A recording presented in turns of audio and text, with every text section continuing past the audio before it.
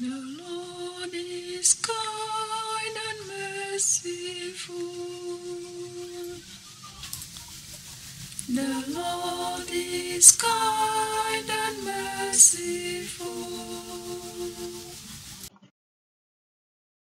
Jesus said to his disciples, To you who hear I say, love your enemies, do good to those who hate you. Bless those who curse you, pray for those who mistreat you. To the person who strikes you on one cheek, offer the other one as well. And from the person who takes your cloak, do not withhold even your tunic.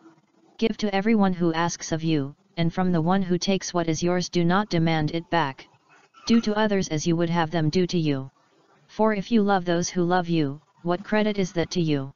Even sinners love those who love them. And if you do good to those who do good to you, what credit is that to you? Even sinners do the same. If you lend money to those from whom you expect repayment, what credit is that to you? Even sinners lend to sinners, and get back the same amount. But rather, love your enemies and do good to them, and lend expecting nothing back, then your reward will be great and you will be children of the Most High, for he himself is kind to the ungrateful and the wicked. Be merciful, just as your Father is merciful.